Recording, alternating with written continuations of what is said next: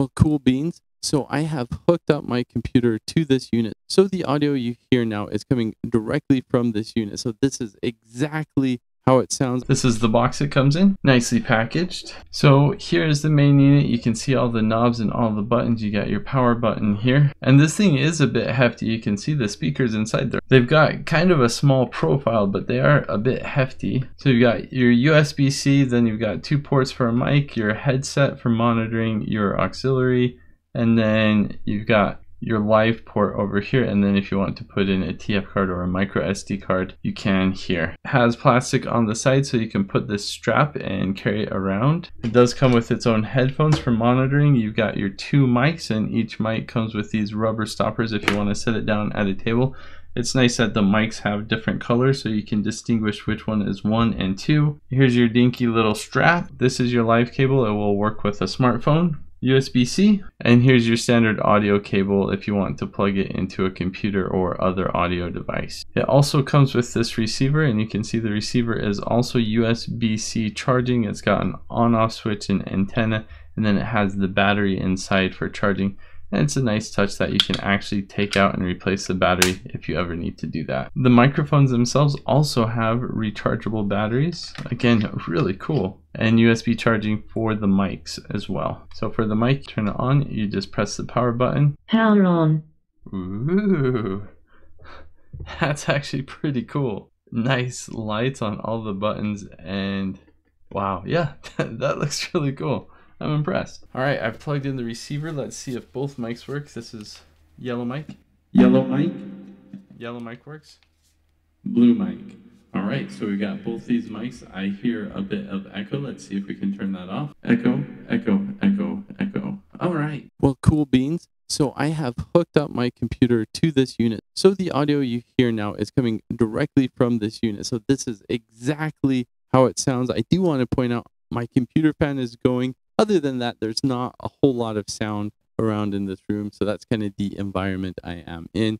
But this is what it sounds like. If you like echo, this is what it sounds like with echo. Um, some people really like that, especially if you're doing KTV karaoke. Uh, I guess echo kind of masks how bad of a singer you are sometimes, or something. I don't know. monster voice. So this is a monster voice. I guess I sound like a monster. A what voice? Oh, a something voice. This is something. A boy's voice. So I sound like a boy now. I sound I sound like a child now. Or no, I don't I don't think there's actual children that sound like this. Or monsters for that matter. Turn off the stereo. Oh, whoa. That is. Okay.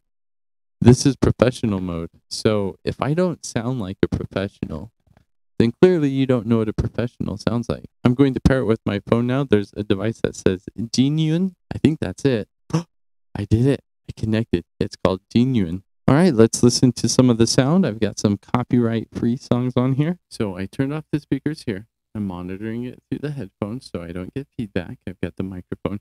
I've got it paired with my phone. So let's listen to some Beach Boys. Oh, and it has auto tune. Let's turn that on. A major is the best key.